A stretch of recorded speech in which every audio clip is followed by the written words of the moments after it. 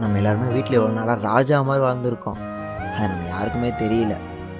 இப்போ வந்து பேச்சுலராக கஷ்டப்படும் போது தான் அதோட அருமை புரியுது. நம்மலாம் நம்ம சாப்பிட்ட தட்டை கழுவுறதே அவ்வளோ பெரிய விஷயமா நினைக்கிறோம். ஆனால் அவங்க வீட்டில் இருக்க எல்லா வேலையும் பார்த்துட்டு நம்மளையும் பார்த்துப்பாங்க. ஆனால் அவங்க அவங்க பார்த்துக்க மாட்டாங்க எல்லாரை விட அம்மா அம்மா தான்டா